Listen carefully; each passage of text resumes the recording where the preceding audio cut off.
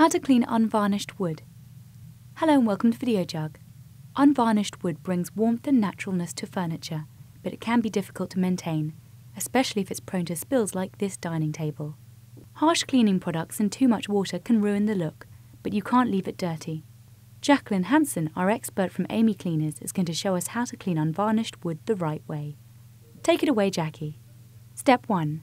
You will need rubber gloves, a tub, a large bowl, a household sponge, a cloth, household detergent, hot water, bicarbonate of soda, vinegar, and a little olive oil.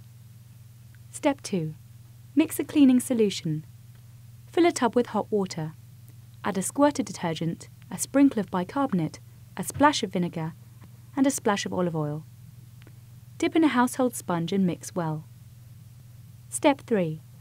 Scrub down. Squeeze out any excessive water from the sponge. Start wiping the table with the abrasive side, working in the same direction as the grain. Move quickly and don't use too much water. This will just soak into the table. Pay special attention to any stains or drips. Step 4. Wipe. With a cloth, wipe the entire table.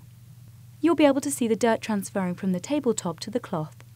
Again, move in the same direction of the grain. If any stains remain, rub a second time with the abrasive side of a sponge, but don't scrub too hard as it may scratch. Use the cloth to wipe the area down after scrubbing. Step 5. Condition. Fill a second bowl with hot water. Add just a drop of olive oil, about 15 millilitres per 4 litres. Take a clean cloth. Mix the water solution well and wring the cloth out. Wipe over the entire table surface. This won't leave behind a greasy residue but will simply condition the table and bring out its natural warm colours. Your table will now look and feel cared for and clean.